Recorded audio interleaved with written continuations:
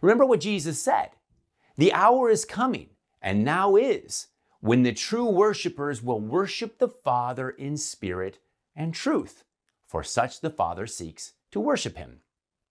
In other words, Christ has come to raise the worship of God's people to its highest and most perfect expression this side of heaven. His gift of living water enables us to worship the Father in spirit and truth. This is a worship far surpassing the ancient worship of the Samaritans on Mount Gerizim, or even that of the Israelites in the Jerusalem temple. Why? Because the current of this living water propels us into the mystical river of God's very own life. It is God flowing into us and lifting us up literally to share in his divine life. It grafts us into the supernatural communion of love we call the Trinity.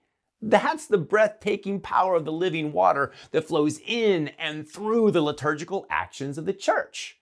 And that's the living water we're seeking in this series.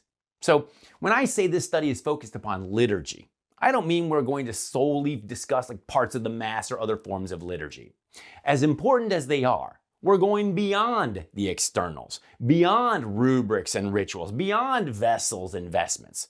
We're going to explore the deeper mystical realities that unite us to Christ. Like, why do we do what we do? What do the rituals and rubrics point to? What is the underlying reality that gives real power to the sacramental words and actions of the church?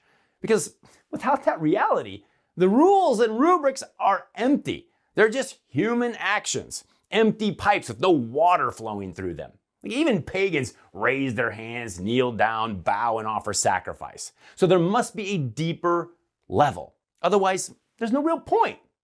Like all of our liturgy must ultimately flow from a source beyond us, or we're just humans doing purely human things. As we'll come to see clearly, that's not the case. But not only are we going to penetrate the divine mystery of where the liturgy comes from, we're going to illuminate where it's all going.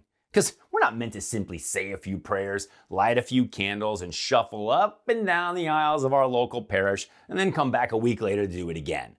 The liturgy in which we participate is designed by God to move us into a mind boggling union with Him that almost defies any description. We're talking about participation in the divine nature of God, a gift so ridiculously incredible that even the most eloquent descriptions fall to the floor as mere stammering and stuttering. Even so, we're going for it. We're going to plunge into the living waters of true liturgical life and go exploring. Why? Because this is what it's all about. This is the pearl of great price. This is literally what we're made for. Now, obviously, we can't cover everything.